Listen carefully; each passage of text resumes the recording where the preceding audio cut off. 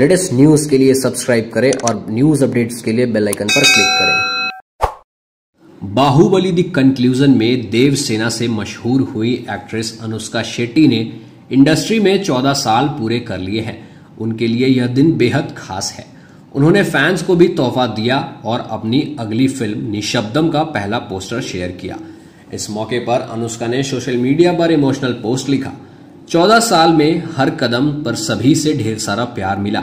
मैं सभी का शुक्रिया करती हूँ।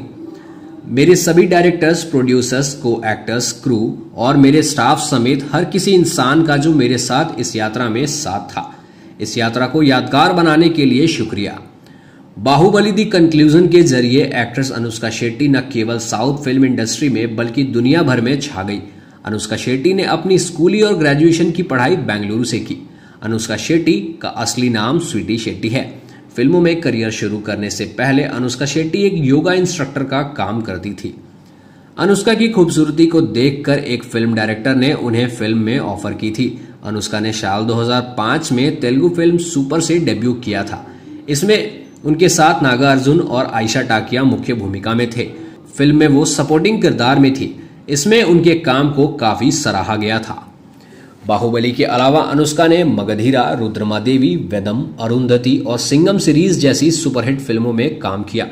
बाहुबली फ़िल्म एक्टर प्रभास के साथ अनुष्का शेट्टी का नाम जुड़ता रहा है। हालाँकि दोनों एक दूसरे को केवल दोस्त बताते हैं। बता दें कि दोनों के परिवार फैमिली फ्रेंड्स हैं।